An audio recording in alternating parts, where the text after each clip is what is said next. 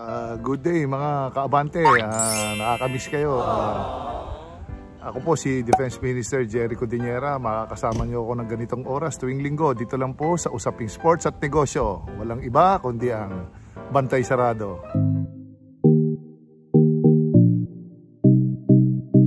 Well ah, guys, ah, balik tayo sa ano sa vlogging. Ah, Siyempre, nung pandemic, pira natin magamit yung expedition. Meron ako sasakyan, SUV. Ito yung mga ginagamit ko nung araw.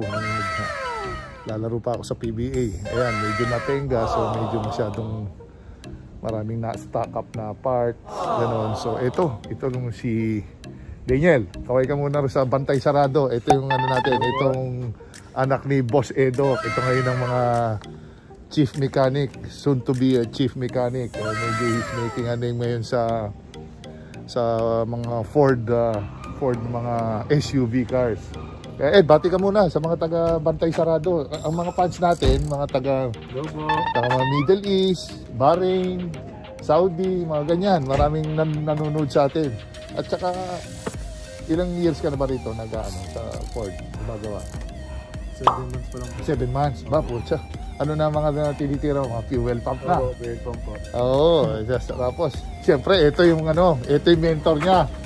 Ed, pre, partner. Sir, Oh, Bantay ba- sarado. Oh, bantay sarado. Oh, kasi itong mga fans natin, na mga viewers natin, Mm. bantay sarado sa Middle East karamihan. Kaya, ito chief mechanic, kung naghahanap kayo ng Ford mechanic sa buong Pilipinas, pinupuntahan niya. Basta maraming V8 dyan, sir. Ha? Middle East. Marami ka V8. mga kaibigan sa Middle East? Da, hindi, ah, tatlo. At the same time, schoolmate ko rin to, St. Anthony. Kaya medyo talaga maabilidad pagdating sa Ford Expedition.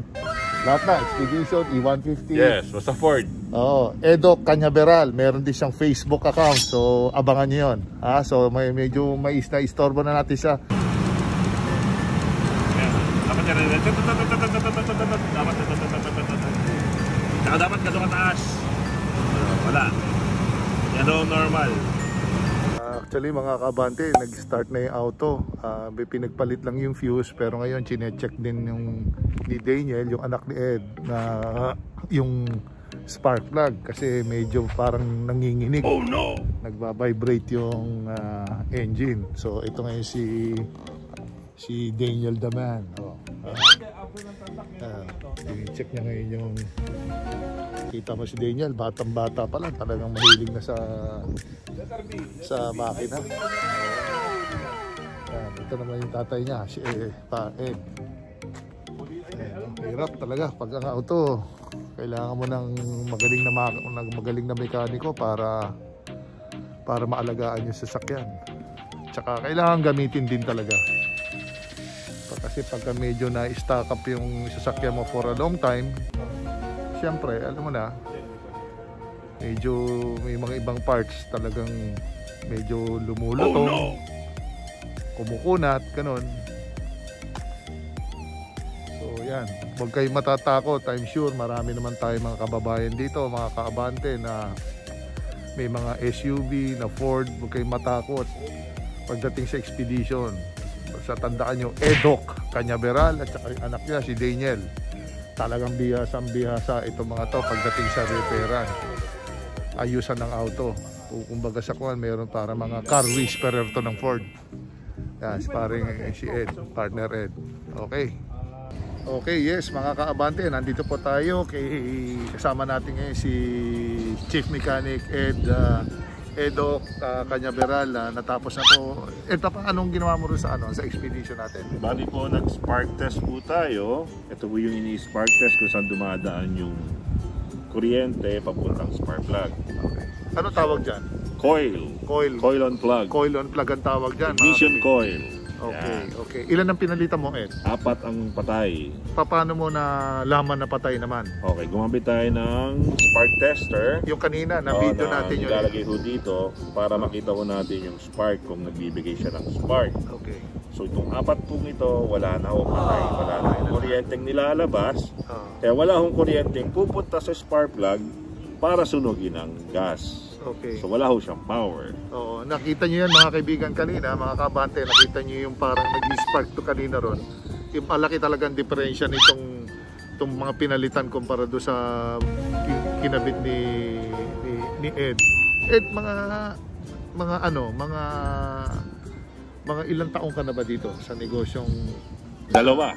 two years? Yes. Alright. So talagang madali ka naman nila, saka naman nila pwedeng kontakin. Mm. Just in case maraming Facebook, yan. Edok Canyaveral. Oh, yes. Tsaka, yan, taga Santa Rosa, Laguna. Ayan. Ayan. Ito pa sir, kaya ho kayo nag-no-start, Okay, no start. sila ho yung Oh.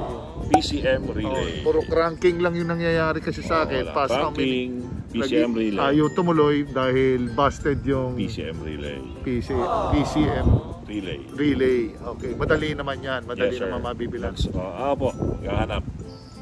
Okay. So, anong ma-advise mo naman dun sa mga wannabe?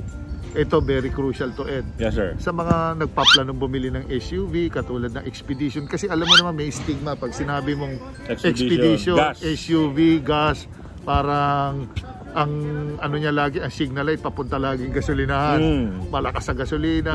Pero anong pros and cons? Bigyan mo tayo para naman Okay. yung mga viewers natin magkaroon ng, Ako- magkaroon ng idea. Yeah. Na- Okay. go. Ako, exped- expedition owner din po ako. Meron din po ako. Ayan, ayan. Pakikita ko sa inyo, mga kaibigan. Ayan, nasa harap ng Expedition ko black. Yan yung kay, kay Ed, kay Doc. Yan po yung white E150. Kabibili lang niya yan. Oo, okay. Sige, Okay, Ed. para wala ho ng makina ng kay Sir Jerry yan. Okay. 4.6. Actually, hindi mo siya actually malakas sa gas. Depende lang ho sa umaapak sa silindador. Depende ho sa gamit. At dapat ho, medyo magaling yung mekaniko nyo. Alright, okay. Para ho medyo matignan ko ano yung nangyayari. So when it comes to long drive, it you, you can really suggest na talaga okay din Oo, siya. safety, number one. Comfort, the best. Okay. Availability of parts. Okay naman po, nagbebenta rin po akong parts. Okay. Marami po nakukuha sa Amerika. So hindi siya kamong yung what yung mga madalas na sinasabi nila, nako ganito ang Ford Expedition. So talagang ngayon ano na doable na. Yes. Pwede Ang nang- hirap kasi dati, ah, tulad sa group namin sa Ford Expedition, ah, wala silang mapagkatiwalaang mechanic. Kaya ganun ho nangyayari. Kaya talagang halos lahat nagsesettle na lang sa nagkakaroon sila ng ano ng parang takot. Mm. Oo, kasi hindi ho basta-basta mekaniko pwedeng tumira dyan. Kailangan marunong. marunong at nagbabasa no Yes, do, kailangan may may konting theory may konting Yes. ano Tsaka no? may scanner. Yan, Oo, na marunong magbasa ng scanner. alright tapos pero ang ano naman Ed ano naman ang mga downside nitong itong Ford? Downside ho niyan sa akin, mm, meron ka ba nakikita or what pero safety matindi oh, safety talaga maluwag spacious legroom Downside is parking. Ang hirap. Correct. oh. yun yung sinasabi nila mga kabante, ano yun, ah, namimili ng ng Malak- papaparadahan. malaki. Malaki kasi masyado Oo. malaki. Pero napakasarap pang pamilya ho talaga. Alright, sige. I think nagkaroon na ng idea at ah, kahit paano pumanap panatag na rin yung mga Mm. nagbabalak bumili ng SUV kahit second hand or brand new SUV. Huwag kayong mag-alala guys. Edo Canyaveral, mechanic. Ah, huwag kayong ano, huwag kayong kabahan. Sigurado ito. Ah, Ako, bahala sa inyo. mapapatak, oh, mapa, mapa, ma, ano, magagawa niya ng paraan parati yan. Okay, ah, paalam ka na Ed sa mga kabante, sa mga overseas. Sige po, ingat po kayo dyan. OFW. Okay, dito tayo nagwawakas ang Bantay Sarado ah, featuring Edo Canaver- Canaveral, isa sa pinakamagaling na mekaniko ng Ford SUV dito sa Pilipinas. Ah, kaano ko siya, ka, ka-schoolmate ko siya, grade school, mga kapatid niya. So that's it, mga kaabante, nakakamiss kayo. Ah, mga kaabante, gusto ko lang pong dagdagan na isa sa mga nakakaasar dito sa pagdating sa idling sa Ford Expedition is yung yung hindi ang dami niyang sensor. Siguro mga 8 to 10 sensors yan. Kaya ang hirap hanapin pagkaroon ka ng, nagkaroon ka ng rough idling talaga. Ang daming series of test at ah, pag hindi mo ma-pinpoint talaga ang hirap talagang medyo butas talaga ang bulsa mo. Lalo na kung nasa kasa pa kayo nagpapa, magpapagawa. So ang kadalasan talaga is ah, malaking porsyento pa- ang pinanggagalingan ng rough idling ay sa ano sa coil on plug kung tawagin, ignition coil. So mamayang konti, ah, pupunta tayo sa kotse naman at ida-drive test natin kung kumusta yung improvement na halos siguro ah, anim na coil plugs lahat ang pinalitan natin kung nag-improve ba nag, ay, nag ano pa ba nagloloko pa ba nanginginig pa ba yung Ford Expedition? Okay puntahan natin ngayon yung auto para mai drive test natin. Ah, nasa ano lang nasa kabilang ah, kalye lang nasa kabilang block. Medyo puno na kasi sa harap ng bahay yung mga ah, auto. So at least dito malaki-laki ang parking kasi medyo yung, yung kapitbahay natin wala na, wala na nakatira ron. Siguro iniwan na ata yung bahay. Baka nakapag abroad yan, malapit lang din tong pinagparadahan ko dito sa basketball court na nilalaroan namin ng mga anak ko. Yan. Tahimik dito sa lugar namin. Malayo sa ingay ayan. Nakita mo ito sa likod no? yan yung bahay. Dito sa harap nila dito ko pinapark yung kotse. Yan nakikita nyo yan yan yung kotseng ginawa ginawa kahap, kahapon. Sa totoo lang mga kaabante akala ko akala ko hindi na yan o akala ko hindi natatakbo eh expedition nakakatakot. Oh no! Kung minsan parang akala mo nagtatampo. Dami nyo, oh. ka ba? bigla na lang hindi i-start. Oh no!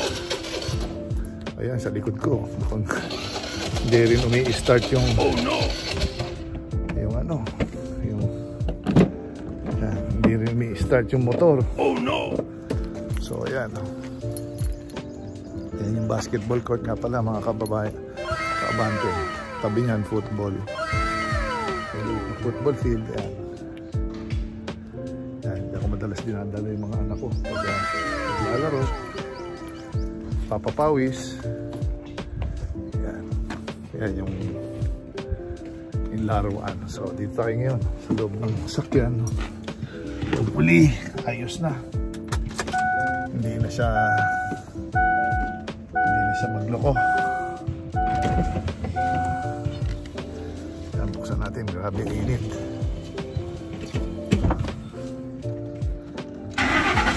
Yun jackpot. One click. Kumita ng bayan. one click sa wakas. Ito ang ano. Judgment day syempre seatbelt muna tayo. Kung nag ano ba? Hindi ba titi manginginig pa ba? Itong expedition kasi kaya pinili ko to. To malaki. Pang player maluwag. Maluwag. Kahit anim na 6'6 ang ipasok mo dito. 6'6 na mga height. Hindi ka mahirapan. Magmaneho pag nag Japanese car tayo wala para tayo sardina sa loob. Yan. Drive tayo ng konti mga mga kaabante. Yan. Yan. Yan.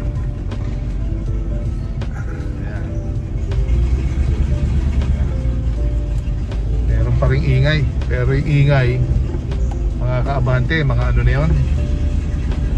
Mga malamang ano na yun baka catalytic converter yun na rin yung gustong ipatanggal sa akin. Ng mekaniko eh sayang eh. Ala, pagka American karamihan ng mga kotse ngayon nakaka-catalytic converter na. Eh, napakamahal din ng catalytic converter. Yun optional yun. Pwede mo tanggalin pwede mo rin hindi tanggalin mas lalakas actually ang makina ng kotse pagka tinanggal yung catalytic converter pero napakasama naman sa environment oh no mahirap hanggat maaari sa, yun dapat nakakabit lang sa auto kasi syempre sa emission pagka may emission test, nako, pwede, pwede ka mag-fail pagka pagka wala kang catalytic converter. Yan. Far, okay siya. Pero lumakas ang hatak na kaabante ha. Ayan. Lumakas ang hatak. In.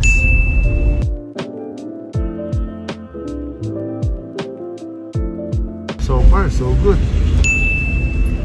Takbo natin.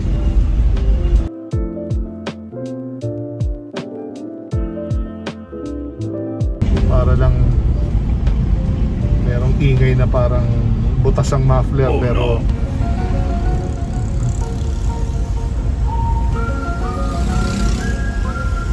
minsan iba pinanggagalingan nun. Yan, bigyan natin. Hataw natin konti.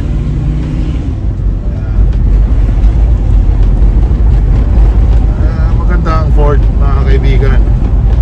Pero kung wala ka rin lang parking parking ano space. Ako Diyos ko po wag na. Eh katulad tayo. Oh, mahirap ang parking din sa lalo sa ibang lugar. Pero dito sa village medyo may mga may mga bahay dyan na talagang walang walang tumitira. So yun pwede kang mag-park doon.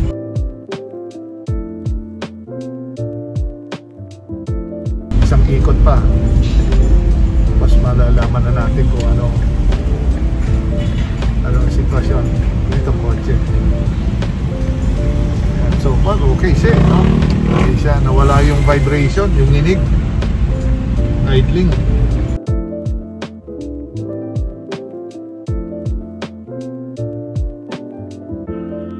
Actually mga kabante ngayon ko lang ngayon lang ako after mula nung nabili ko to sakyan ngayon ko lang napatino ngayon lang namin napatino yung ano yung idling nito.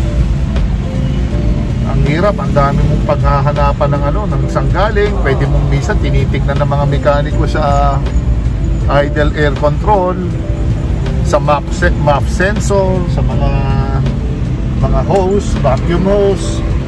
Kaya kung ano-ano nakakaano nakaka nakakahilo na. Uh, spark plug catalytic kung ano-ano. So yun uh, at least itong mekaniko natin uh, may hindi naman siya kamong aral na mekaniko pero nagbabasa siya eh. By theory magaling siya sa theory at the same time uh, mabigat ang common sense nung, nung mekaniko common sense niya eh karamihan dito sa pyesa ng Ford alam mo naman dito plug and play basta alam mo lang yung concept ng ano ng pagkabit hindi ka na ma ano, hindi ka na ma wag lang yung mga masesela na electrical, nope. aircon, nope. yan, medyo talagang expertise yan. Pero pagdating sa mga yung mga plug and play lang na pyesa, ayun, kayang-kaya ni nung mekaniko ko yun. Ayan, so far so good, oh. So far so good for a 2003 na sasakyan. Hindi hindi na ano sulit. Uh, kumbaga sa kwan ayos siya. Hindi ka na ano lumakas ang hatak oo ayos siya hirap lalo na tayo. Mga pag ang Ford hindi mo masyado ginamit mahirap ano din. Medyo parang palyado minsan ng takbo eh. So best move talaga yan once a week kailangan hinahataw natin yung sasakyan. Alright. So far so good. Kaya mga mga kabante ano lang pa rin syempre prevention is the best cure pagdating sa auto. Wag na nating paabutin yung mga sira palakihin kasi mas malaking gastos. Okay? Alright maganda. Ganda ng ano ganda ng ng pagkaka-pinpoint natin sa ah, sa salarin talaga dito sa iDraft idling na expedition. At ah, syempre, ah, dito rin nagtatapos yung ah, show natin at ah, sa mga darating natin na episodes i ipo-focus natin yung ano focus naman tayo sa mga mga mga, mga technicians like para makita naman ng mga taga-subaybay na ng Abante ang ano ang mga natatago nilang galing. Maraming maraming salamat. Ah, well, sa, kahit sa anong parte ng mundo, stay apart, wash hands, uh, wear your face mask, wear your face shield. Uh, alright? Wala tayong binabago kahit pa dumating ang mga vaccine na yan. Importante ay yung bakuna na yan. Importante guys, huwag tayo makakalimot, makakalimot huwag tayo magkukumpiyansa ganun pa rin. Uh, ingat pa rin ingat. Okay see you.